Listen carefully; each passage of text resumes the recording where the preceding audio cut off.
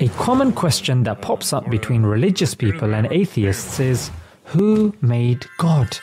From popular atheist debaters to the common atheist internet troll, this question is absurdly thought to be a valid argument against God.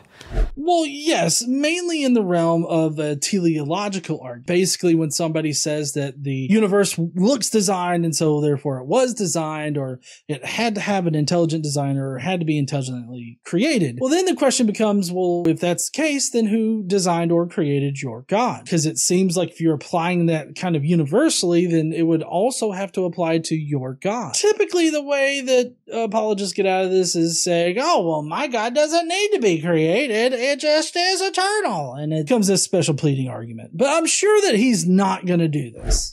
Now, here are three reasons why this question is about as useful as asking me if an egg is a fruit or a vegetable.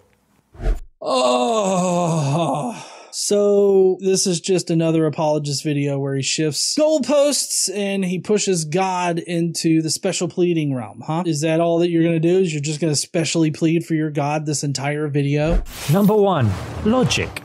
The question assumes God is a finite created entity, when God, by definition, in the traditional theological sense, is an uncreated eternal being.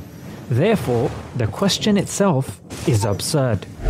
So instead of actually answering the question, honestly, your answer is to say, Oh, I never claimed that God was some kind of finite being. I have trouble with things that don't exist in reality. If the thing doesn't exist in reality, then there's no reason for me to say that it exists. So if God is so super special that he exists outside of all reality, it just seems like you're pushing the goalpost to a point where you think I can't make that goal. But if you push God outside of reality, then there's no reason to think God is real. But also, this whole eternally existing and uncreated, why can't this also apply to just the fabric of reality in general? If other universes do exist, then reality must stretch outside of our own particular universe. And our universe isn't necessarily the only universe that has existed. So does God control all these other universes? If he's outside of reality, what does that even fucking mean? It's illogical to specially plead for your particular deity and just ad hoc asserting that your God's eternal without any kind of evidence to suggest that he is eternal